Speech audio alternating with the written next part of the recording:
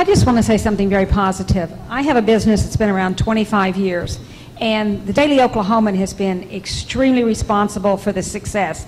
Um, I met you back in 96. You did a story. Uh, could not have been more beautiful. It technically wasn't on my business, but it was on my home.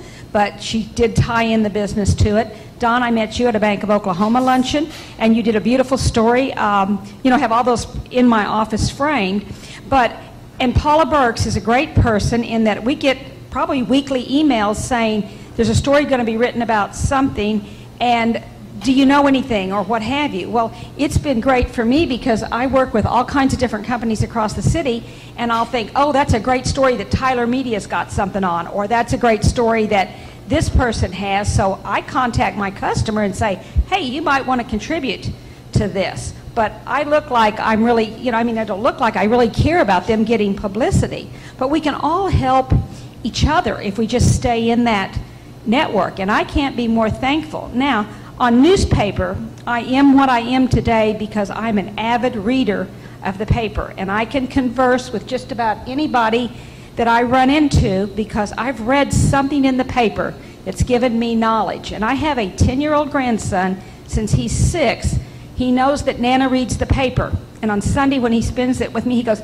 Nana, what was the big story? Now, if we're out at a kid's ball game or someplace, or he sees his parents, he tells Nana, he tells his mama about whatever was that big story. I'm raising a reader for the future.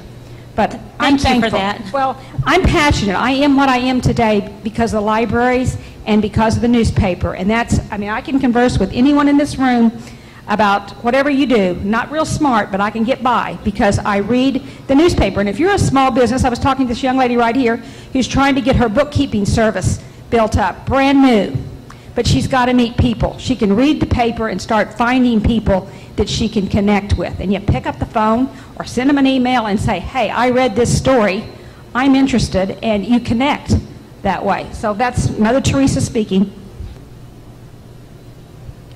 Paula sent one out a couple of years ago before the Notre Dame game, and it was an article about uh, Notre Dame coming to the OU thing, and she says, anybody got a story on this? And I quickly sent her back just a note. I used to be a cheerleader at Mount St. Mary's High School. They came back in, I'm not going to tell you what year, and the nuns had us go out to welcome the Notre Dame team. And my mom was madder than you know what because I, by God, I was a Sooner before I was a Catholic.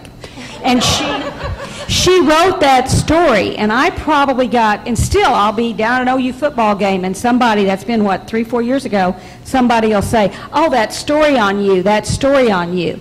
But that, I am my business, so it definitely helps to build the business there. So I'm thankful.